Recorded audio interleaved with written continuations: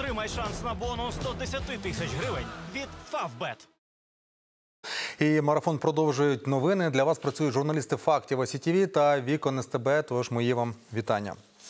Близько 11 ранку російські військові з граді обстріляли місто Куп'янськ на Харківщині. Ворожий боєприпас влучив у приватний житловий будинок. Поранений 51-річний чоловік. Його госпіталізували до лікарні.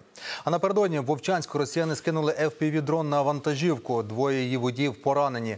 Обидва у лікарні. Минулої доби артилерійських, мінометних та авіаударів ворога зазнали 15 населених пунктів області. Пошкоджені будівлі дитячого садочка, житлові будинки та господарські споруди буде.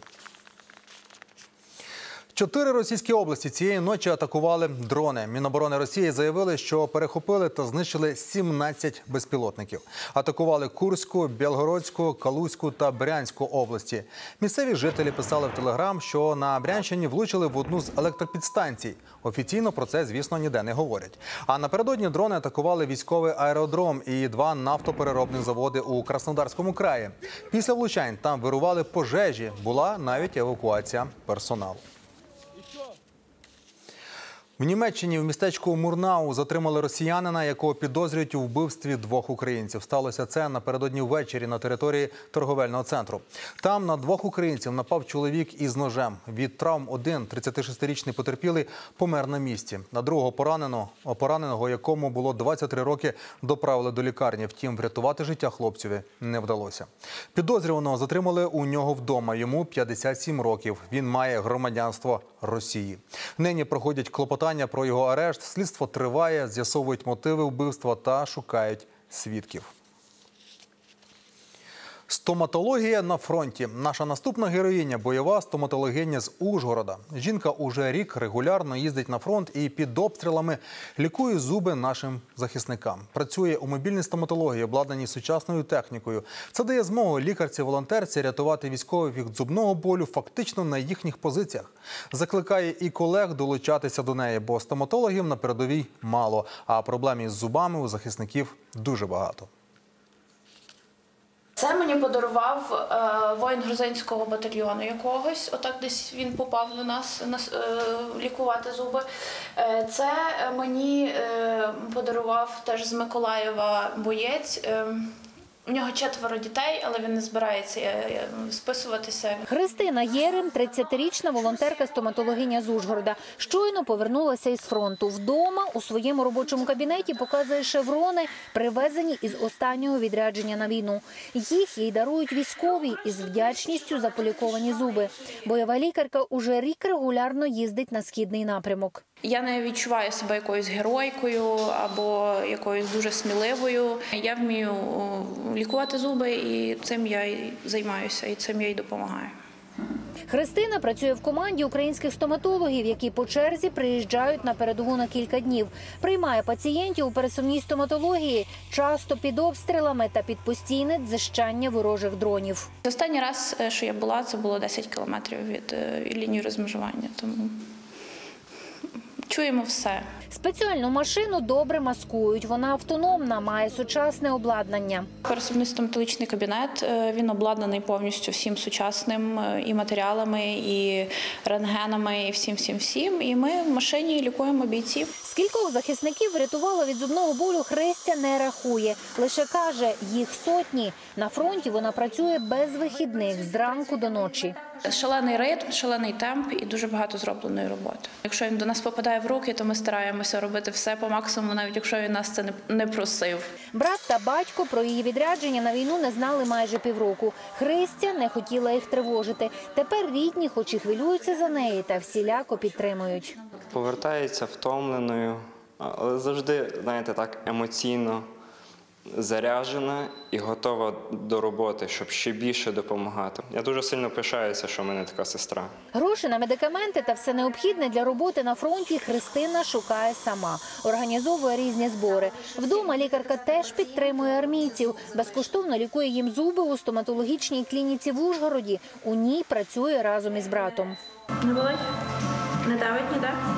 Часто в окопах доглядати за зубами у бійців немає часу і можливості. Тому зуби і болять, каже прикордонник Олександр.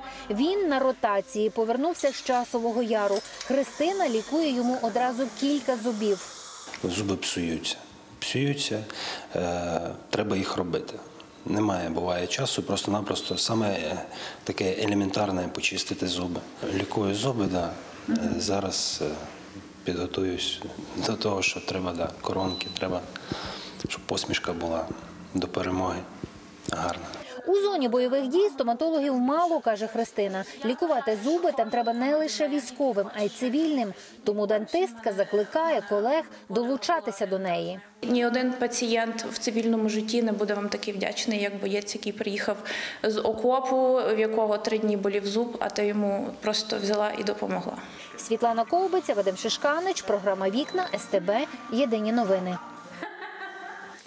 У столиці відбувся форум, присвячений поверненню українських ветеранів до ринку праці. За різними прогнозами експертів, після перемоги в Україні буде понад мільйон ветеранів, які почнуть фактично з нуля будувати нову цивільну кар'єру. І допомогти працевлаштуватися та зробити так, щоб український бізнес був комфортним для тих, хто пережив війну. Це основні завдання спеціально створеного проекту Практика від ветеран хабу. Докладніше дивіться далі. Олександр досвідчений військовий. У свої 28 хлопець вже ветеран. Його війна почалася у 2018-му, коли молодий боєць після строкової служби підписав контракт. Захисник воював у зоні ООС, згодом звільнився і спробував повернутися до цивільного життя. Військовий просто не може е, адекватно розписати свій досвід, як його можна застосовувати в цивільному житті. І через це він не хоче подаватись на якісь вакансії. Плюс роботодавці деякі так вони бояться брати людей, які пройшли зону бойових дій. Одного разу прямо в лоб спитали. Я сказав, я не вбивав, я виконував завдання і знищував ворогів. Коли почалося повномасштабне вторгнення, Олександр знову пішов у військо. Брав участь у боях за Київщину, Херсонщину та Харківщину.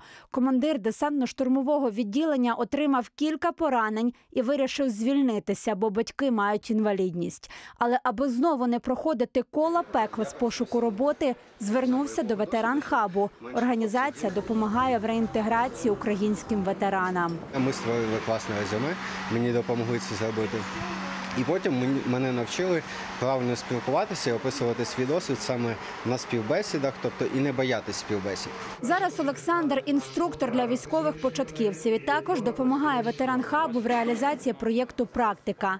Це ініціатива підтримки для компаній, які хочуть навчитися створити комфортну робочу атмосферу для ветеранів і ветеранок у своїх компаніях.